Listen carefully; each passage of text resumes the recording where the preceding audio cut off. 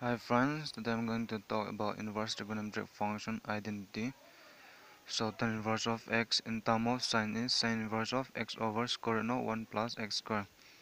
And in term of cos, cos inverse of 1 over square root of 1 plus x square. In term of cot, cot inverse of 1 over x. And in term of sec, sec inverse of square root of 1 plus x square. And in term of cosec, cosec inverse of square root of 1 plus x square over x. In here, if you know tan, sine and cos, and others will be reciprocal. Hmm, so let tan inverse of x is equal to y.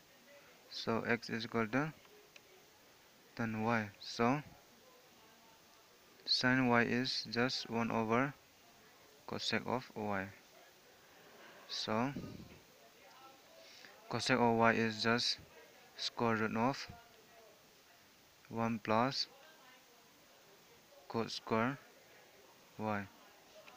And this is 1 over square root of 1 plus cot in term of tan is in is 1 over tan square y which is 1 over.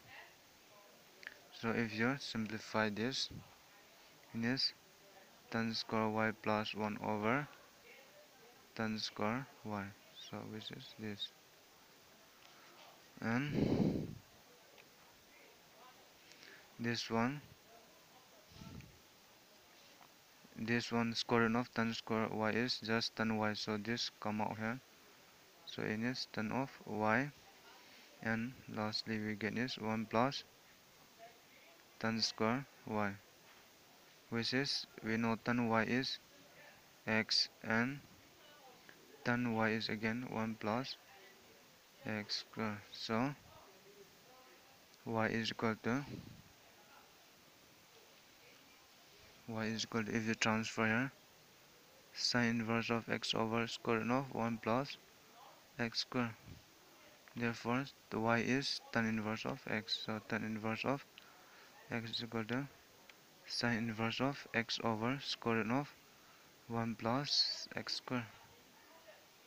So this is first proof and for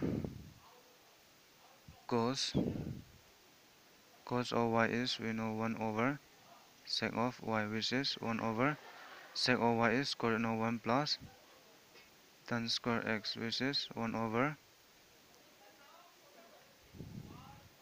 square root of 1 plus tan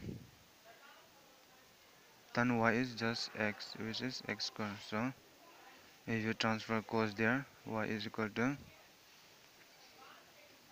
cos inverse of 1 over square root of 1 plus x squared therefore y is tan inverse of x which is tan inverse of x is equal to cos inverse of 1 over square root of 1 plus x squared so this is second proof.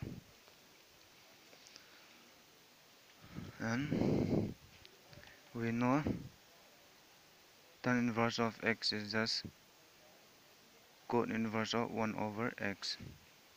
And sine inverse of this one x over square root of 1 plus x square is just cosec inverse of square root of 1 plus x x square by x. And cos inverse of 1 over square root of 1 plus x square is same as sec inverse of square root of 1 plus x square. So we know that it is tan inverse of x is in term of sine sine inverse of